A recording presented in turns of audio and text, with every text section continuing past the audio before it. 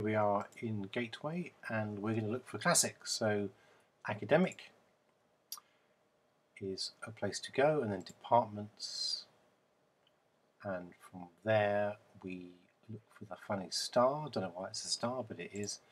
We go into classics down there and from here we can jump to all the different courses that we offer. Um, just at the bottom here there's some quite fun um, videos about why we do Latin. That could be worth worth looking at. Some quite amusing and informative things there. And also a growing area on um, books you can read about the ancient world, particularly fiction, novels and things like that. Um, that's all there. But we're going to go today to the Key Stage 3 Classic section uh, for third form, fourth form and removes. And here it is.